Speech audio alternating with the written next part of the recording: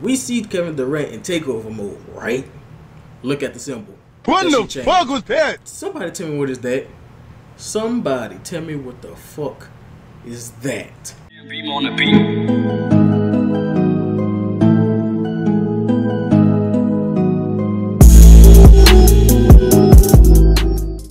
What's good, y'all? DMD does it here today. I'm getting straight into this video.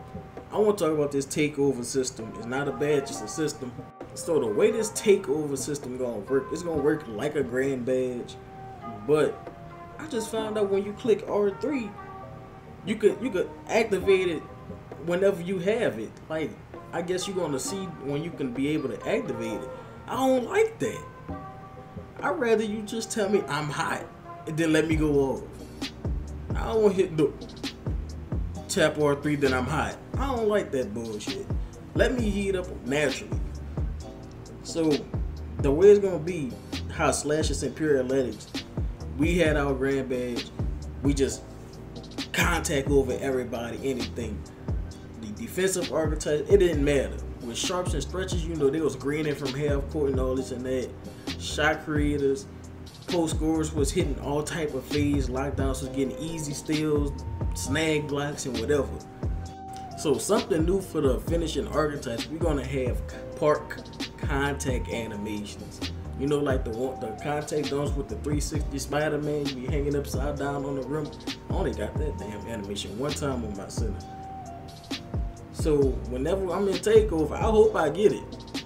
So for the for the shooters, so I'm guessing like with the takeover, you're gonna have some different green animations, and the player would do some like, some cocky type shit, you know, all confident like, yeah, nigga, I did that shit.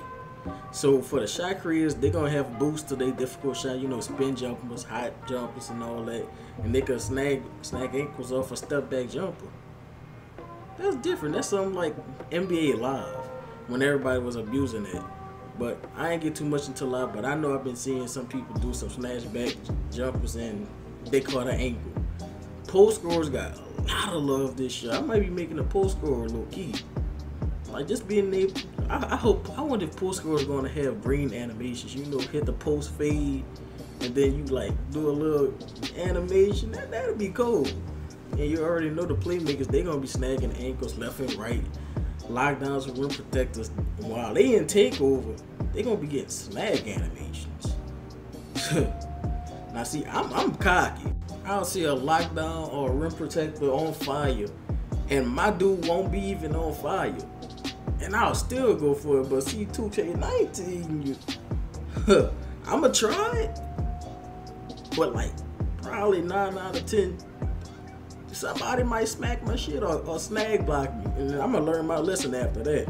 I ain't even gonna lie on it. But I hope some some protect us. you know how how we get um, on block out of bounce animations. Hopefully they get their own animations when they get a block out of bounds. I would like to see that.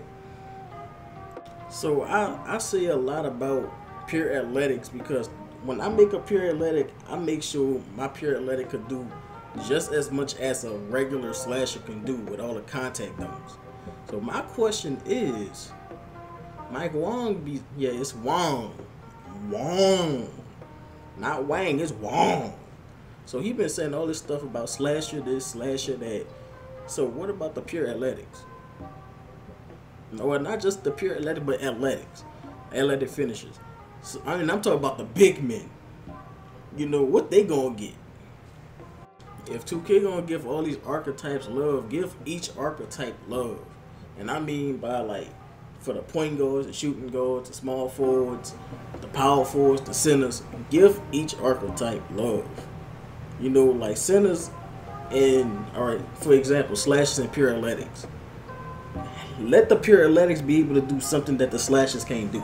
Let the slashes be able to do something that the pure athletics can't do. We already know a lot of slashes can't block a, a contact though, right? They'll just spam squat. Let's be real. Centers could pure athletics could smack that shit. But let us have something unique for every position of an archetype.